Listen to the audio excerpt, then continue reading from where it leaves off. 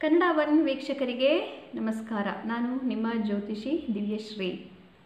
ಎರಡು ಸಾವಿರದ ಇಪ್ಪತ್ತೊಂದರ ಭವಿಷ್ಯವನ್ನು ತಿಳಿಸಿಕೊಡೋದಕ್ಕೋಸ್ಕರ ನಿಮ್ಮೆದುರಿಗೆ ನಾನು ಬಂದಿದ್ದೇನೆ.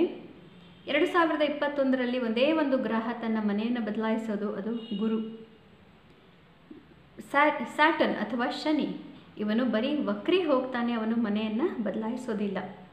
ಮತ್ತು ರಾಹು, ಗೋಚಾರ ಇಲ್ಲ. ಆದ್ದರಿಂದ ಗುರುವಿನ ಗೋಚಾರ ಮುಖ್ಯ ಆಗುತ್ತೆ ಮತ್ತು ಶನಿ ವಕ್ರಿ ಆದಾಗ ಏನಾಗುತ್ತೆ ಅನ್ನೋದನ್ನು ತಿಳ್ಕೊಬೇಕಾಗುತ್ತೆ ನಾವು. ಇದನ್ನು ತಿಳಿಸ್ಕೊಡೋದಕ್ಕೋಸ್ಕರ ನಾನು ನಿಮ್ಮೆದುರಿಗೆ ಬಂದಿದ್ದೇನೆ. ಈಗ ಅದರ ಕಡೆ ಗಮನ ಹರಿಸೋಣ. ಬನ್ನಿ.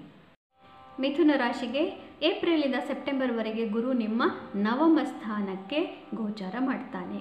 ನವಮ ಸ್ಥಾನಕ್ಕೆ ಬರೋದರಿಂದ ಭಾಗ್ಯೋದಯವಾಗುತ್ತೆ. ಇದಕ್ಕಿಂತ ಹೆಚ್ಚಿನದನ್ನು ಯಾರೂ ಕೇಳಲಿಕ್ಕೆ ಸಾಧ್ಯವಿಲ್ಲ.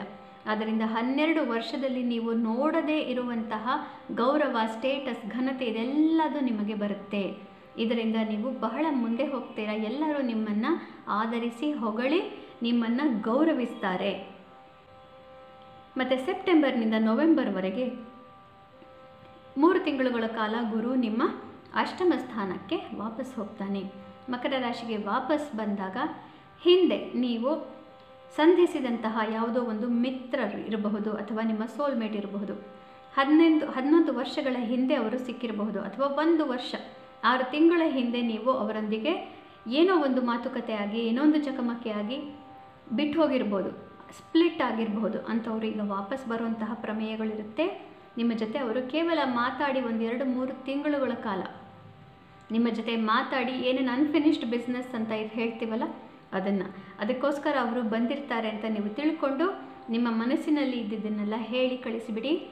ಒಳ್ಳೆಯದಿದ್ದರೆ ಮಾತ್ರ ಹೇಳಿ, ಕೆಟ್ಟದೇನಾರು ಇದ್ದರೆ ನೀವು ಮರೆತು ಬಿಡಿ ಅವರು ಮರೆತು ಬಿಟ್ಟರೆ ಒಳ್ಳೆಯದು ಇಲ್ಲದೆ ಹೋದರೆ ಇನ್ನು ಹನ್ನೊಂದು ವರ್ಷ ಅದೇ ಕೊರಗಿನಲ್ಲಿ ನೀವು ತೊಂದರೆಯನ್ನು ಅನುಭವಿಸಬೇಕಾಗತ್ತೆ. ಮತ್ತು ಮೇ ಇಂದ ಅಕ್ಟೋಬರ್ವರೆಗೆ ಶನಿ ವಕ್ರಿ ಹೋಗ್ತಾನೆ. ನಿಮ್ಮ ಅಷ್ಟಮದಲ್ಲಿ ಶನಿ ವಕ್ರಿ ಆಗೋದ್ರಿಂದ ಮನಸ್ಸಿನ ತುಮಲುಗಳು ಸ್ವಲ್ಪ ಜಾಸ್ತಿ ಆಯ್ತೇನೋ ಅನ್ನೋಂಥ ಭಾವನೆ ಬರುತ್ತೆ. ಅತಿ ಹೆಚ್ಚಿನ ಒದ್ದಾಟ ಅಂತ ನಿಮಗೆ ಅನ್ನಿಸಿಬಿಡುತ್ತೆ. ಆದರೆ ಅವನು ಸಪ್ತಮ ಭಾವವನ್ನು ನೋಡ್ತಾ ಇರೋದ್ರಿಂದ ಹೊಸ ಹೊಸ ಪಾರ್ಟ್ನರ್ಶಿಪ್ಗಳು, ಹೊಸ ಹೊಸ ಮಿತ್ರರು ನಿಮಗೆ ಬರ್ತಾರೆ. ಆದ್ದರಿಂದ ಜೀವನದಲ್ಲಿ ಏನೂ ನಿಲ್ಲೋದಿಲ್ಲ, ಎಲ್ಲ ನಡ್ಕೊಂಡು ಹೋಗುತ್ತೆ.